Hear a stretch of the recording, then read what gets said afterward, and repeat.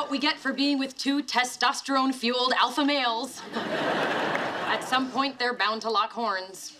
I'm assuming these are some kind of horns they bought at Comic Con. I'm so proud of you, Amy. Your first bikini wax. Yeah.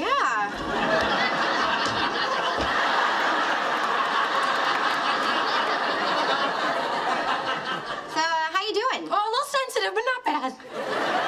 Does it always take that long?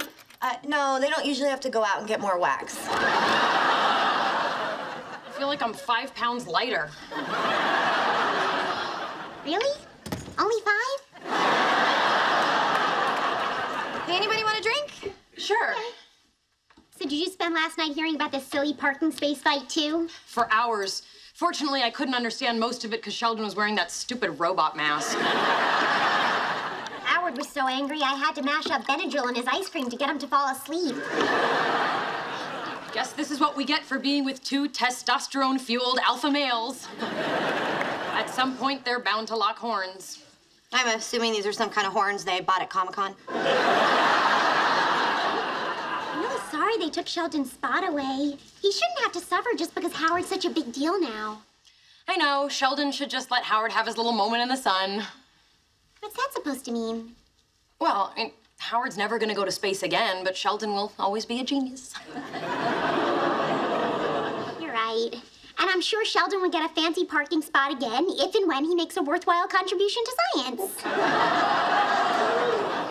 If and when. Okay, I- maybe we should change the subject. Um, Amy, how are your lady parts? Still chilly down there? Well, hang on. Hey, none of Sheldon's theories have ever been definitively proven. My husband actually went to outer space. That's an impressive accomplishment. He's now an inspiration to millions of Americans who know you don't have to be special or even qualified to go into space. You know, I remember the first time I got a bikini wax. My, my, my sister did it with melted Crayolas and duct tape. it's a bad idea. Gosh, Amy, I'm sensing a little hostility. Is it maybe because, like Sheldon's work, your sex life is also theoretical?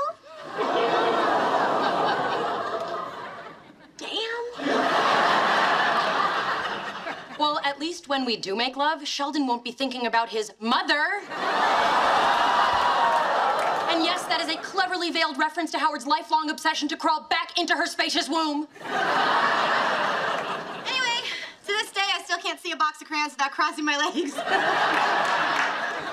don't have to take this. I'm gonna go home and have sex with my husband right now. Maybe I'll let him do it to me in a parking spot.